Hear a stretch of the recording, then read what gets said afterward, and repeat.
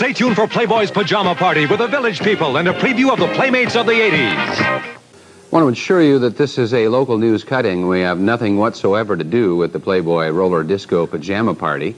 Uh, there is more trouble in Iran. The crisis continues there. Those of you who've turned off your television sets in disgust, wait about another half hour. We'll be back with the news.